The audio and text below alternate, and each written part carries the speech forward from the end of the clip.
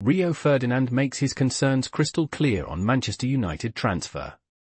Rio Ferdinand has questioned Manchester United's decision to sign Matthijs de Ligt from Bayern Munich for £42 million, citing concerns about his injury history and recent form. Ferdinand expressed doubts about whether de Ligt can make a significant impact at United.